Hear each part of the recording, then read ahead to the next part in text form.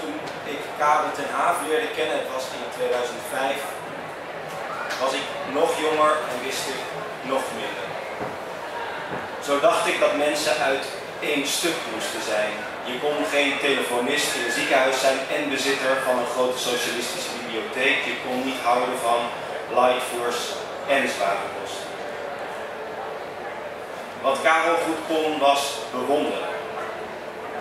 Hoewel ik het niet zeker weet, kwam daar volgens mij ook vaak een soort weemoed bij kijken. Ik herinner me nog zijn plaatsvervangende trots toen Hans Verhagen de PC Hoofdprijs kreeg toegekend. Erkenning voor een door hem bewonderd dichter en voor toegankelijke poëzie, vond hij. Dat beeld, zei hij, van die alleenstaande graafmachine. Het ontroerde hem.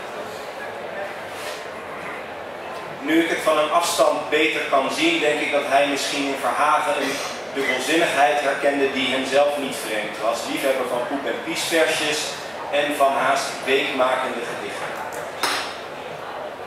De gedichten schrijf ik zelf al jaren niet meer.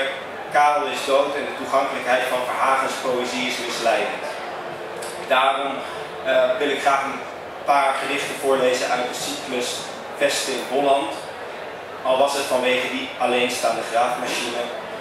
Omwille van de tijd sla ik het reine meisje over. Karel had dat vast jammer gevonden.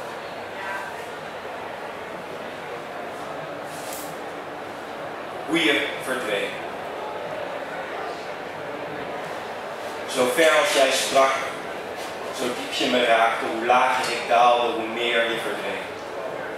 Zo hoop ik vergat, zo vaak ik faalde, zo schep ik je zag, hoe verder je scheen. Zo liefde mij brak en nooit meer lief had, en nooit meer en nooit meer en niemand die dacht dat schoonheid vergaan ging onder een steen. Zij liet mij alleen, die de klank aan mijn hart gaf, van mijn klankkast het hart was, en nooit meer en niemand en dood in de regen, gelegen van eeuwen geleden onder postmoderne waterwegen, niet ontzwommen, nooit herrezen.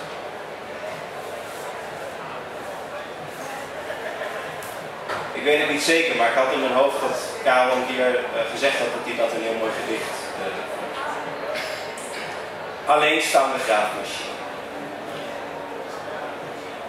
Verboden motoren hebben je al lang voorgelogen, maar je zag het als dynamisch eerbetoon aan allang alweer verlegde grenzen, waardoor trouwens alles werd verschoven op tal van wangedachten inkeer. Op ternauwernood twee benen verder.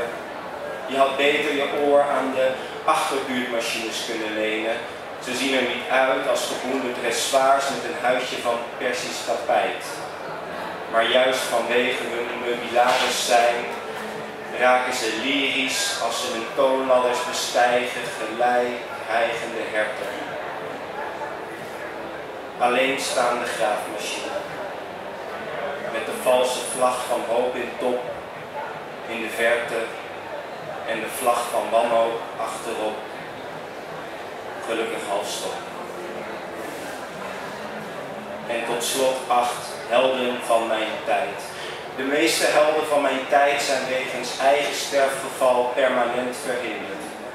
Wat niet wil zeggen dat hun levensvatbaarheid vermindert. Natuurlijk doet het paaien pijn alles van waarde, als alles van waarde waardeloos blijkt. Maar hoe kan iets van waarde weerloos zijn? Want niet in het blote oog van de beschouwer wordt iets van waarde waarneembaar, maar in een alziend hart. Daarom kan alles van waarde niet anders dan onzichtbaar zijn. Al maar toenemend in kracht. Mensen met een zinloos, zin, sorry, mensen met een zinvol leven zou je ze geen rotschop geven.